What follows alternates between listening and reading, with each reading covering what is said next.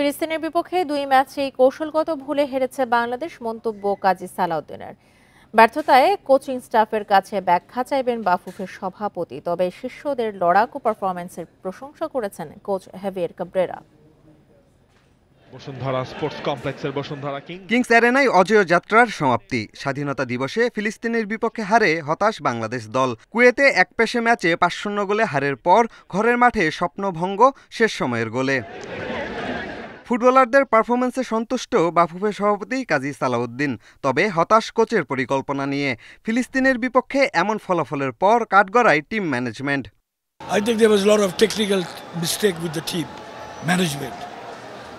ওই ম্যানেজমেন্টের টেকনিক্যাল মিস্টেকে আমার এই দুটা ম্যাচ এই রেজাল্ট হয়েছে।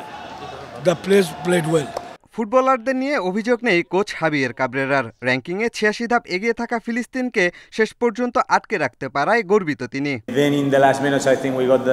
শারীরিক শক্তিতে এগিয়ে থাকা দলের বিপক্ষে আমরা শেষ পর্যন্ত জাল আগলে রাখতে পারিনি। এটা হতে পারে। চুরানব্বই মিনিট দারুণ ছিল। দল ইতিবাচক ফুটবল খেলেছে। আমাদের দল নিয়ে গর্বিত হওয়া উচিত। এখন আমাদের জুনের চ্যালেঞ্জ নিয়ে পরিকল্পনা করতে হবে। Where we had chances to to win the game probably. যুদ্ধবিধ্বস্ত ফিলিস্তিন ফুটবল থেকে অনুপ্রেরণা পাচ্ছে। বাংলাদেশের বিপক্ষে ফলাফলের চেয়ে বন্ধুত্বপূর্ণ সম্পর্ককে বড় করে দেখছেন দেশটির ফুটবল অ্যাসোসিয়েশনের সভাপতি। No matter who won, no matter who lost, we জয় পরাজয় নিয়ে ভাবছি না। বাংলাদেশ থেকে আমরা সমর্থন ও ভালোবাসা পেয়েছি। ফিলিস্তিনের প্রতিটি মানুষের জন্য যা অনুপ্রেরণা। ফিলিস্তিনের কাছে দুই ম্যাচ হেরে কার্যত বিশ্বকাপ বাছাই পর্বের মিশন শেষ বাংলাদেশের।